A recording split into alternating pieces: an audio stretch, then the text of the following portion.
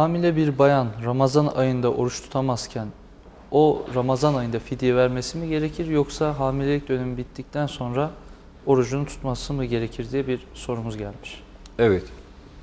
Şimdi oruç tut- tutması e, konusunda mazeretli olan gruplar var. Mesela çok yaşlılar, hastalar, efendim hamile olan kadınlar, süt emziren kadınlar vesaire.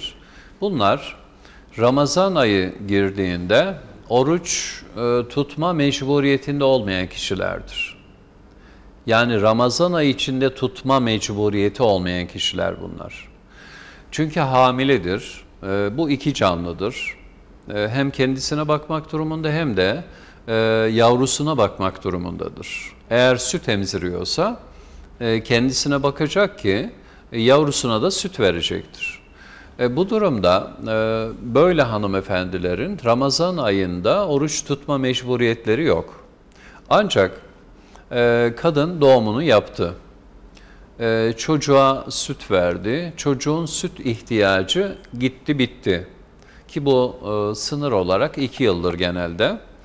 E, sonra o çocuğun bu anneye yemek bakımından ihtiyacı yok ise o zaman e, bu kadın oruç tutmak, daha doğrusu tutamadığı Ramazan orucunu kaza etmek mecburiyeti vardır.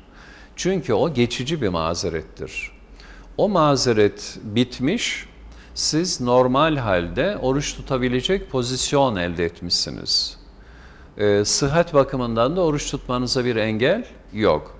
Dolayısıyla e, ben fidye versem de mesela 3 yıl Ramazan orucu tutamadım.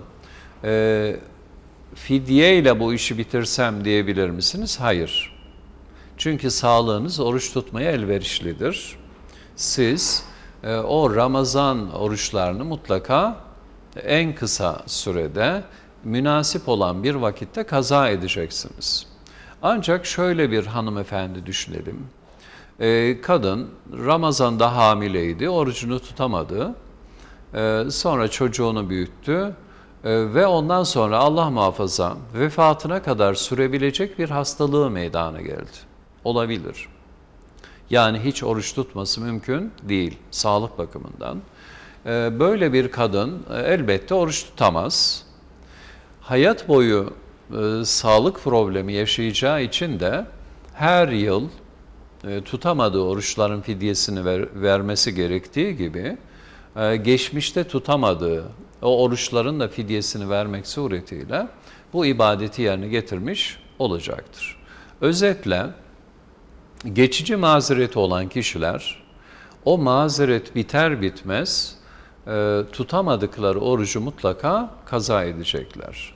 Ancak ömür boyu devam eden bir rahatsızlık varsa o zaman e, her Ramazan girdiğinde e, tutamadığı oruçların fidyesini vermek suretiyle bu ibadeti yerine getirecekler. İki erkek ile bir kız çocuğunun mirasta payı nasıl olacak diye bir Suat Bey'in sorusu var İstanbul'da. Şöyle söyleyeyim. لِذَّكَرِ مِثْلُ حَظِّ الْاُنْسَيَيْنِ diyor ayeti kerimede. Ee, Erkek, erkek kadının, iki kadının payına, nasibine hak sahibidir diyor. Hal böyle olunca bir miras taksimi karşımıza çıkıyor. Nedir miras? Diyelim ki kişi vefat etti. Geride bir evlat, erkek evlat, iki de kız evladını bıraktı. Şimdi bu miras taksiminde şöyle bir ikili taksim var. Nedir ikili taksim? Biri rızayı taksim diyoruz. Biri de cebri taksim diyoruz. Rızayı taksim demek mirasçılar otururlar. Kendi rızalarıyla, kendi gönül rızalarıyla bu malı istediği şekilde paylaşabilirler. Mesela diyelim ki bu misalimizde erkek çocuk dese ki benim maddi hiçbir ihtiyacım yok. Gelirim yerinde, imkanlarım yerinde ama kardeşlerim, kız kardeşlerim fakir. Ben bu kardeşlerime bütün hissemi, babamdan bana düşen bütün hissemi devrediyorum dese bunda hiçbir sıkıntı olmaz. Dolayısıyla kız kardeşler kendilerine babalarından kalan malı yarısını o alır, yarısını o alır. Mesele biter. Taksim tamamdır. Veya bunun tersi kız kardeşler deseler ki biz e, evliliklerimiz iyi, Kocalarımızın maddi durumu çok iyi. Bizim bir paraya pula ihtiyacımız yok. Bu mala ihtiyacımız yok. Ama kardeşimiz fakir. Ee, Zorla geçiniyor. Biz babamızdan kalan malda hiçbir pay istemiyoruz. Hiçbir e, hak sahibi olmak istemiyoruz. Tamamını ona hibe ettik. Bağışladık deseler malın tamamı erkek kardeşin olur. Herhangi bir sıkıntı olmaz. Ama böyle değil de anlaşmalı değil de herkes bana payımı vereceksin diye tutturmuş. İşte o zaman cebri taksim devreye giriyor. Cebri taksim ne demek? Mirasçılar anlaşamadıkları vakitte mahkeme kanalıyla yapılan taksim demek. İşte mahkeme kanalıyla yapılan taksimde bu mal, bu mal tamam dört hisse kabul edilir.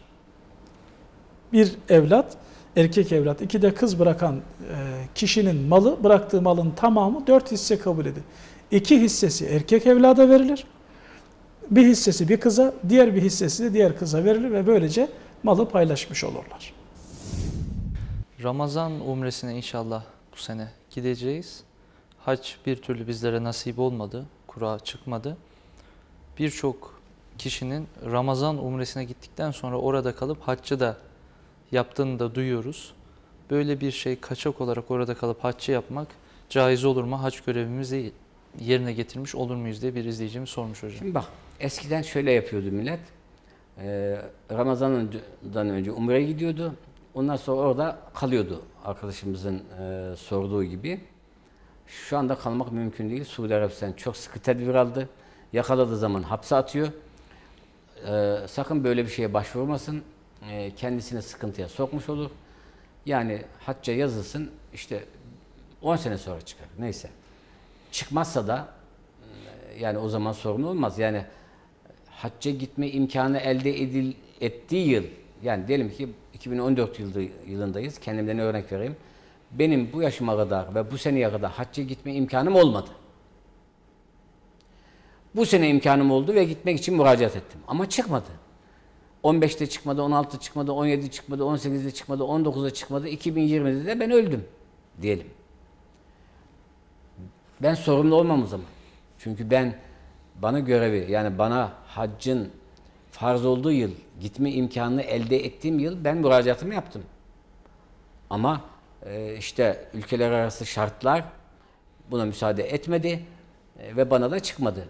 Yani Allah bana niye gitmedin diye sormaz çünkü gidecektim eğer çıksaydı. Dolayısıyla bu kardeşimiz Umre'ye gitsin geri dönsün. Biz orada e, işte yakalanıp hapse atılan sonra geldiğine de geleceğine de pişman olan insanları biliyoruz. Ben e, denetim ekibinde e, 5-6 sefer gittim. Buradan biliyorum. Şimdi dese ki kardeşim onları boş ver. Ben bu sene gideceğim. Umarım yaptıktan sonra da pasaportumu da alacağım, vermeyeceğim. Gerçi pasaportlarını alıyor bizimkiler. Bizimkiler değil, Suudlar alıyor. Giderken de veriyorlar. Diyor ki birisi, ben kardeşim vermeyeceğim pasaportumu. Bir şekilde vermeyeceğim. Ben bu işin yollarını biliyorum. Efendim işte bir ay sonra da gitmeyeceğim. Eve kap kapanacağım otele. İnzivaya girmiş olacağım. Ta ki hac mevsimine gelinceye kadar. Ondan sonra da haccımı yapacağım.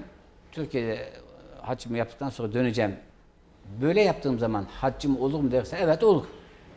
Yani haccın şartlarını bütünüyle yerine getirmiş olur. Yani Suudi Arabistan'ın vize koyması, efendim işte ülkelere kota koyması Allah'ın ayetine dayanan bir şey değil ki. Yani gelenlerin, taleplerin çok olmasından dolayı izdihama önlemek için koydukları bir kuraldır. Ama bunu yapmak da yani bu şekilde bir uygulaması da kolay bir şey değildi. Onu da ifade edelim.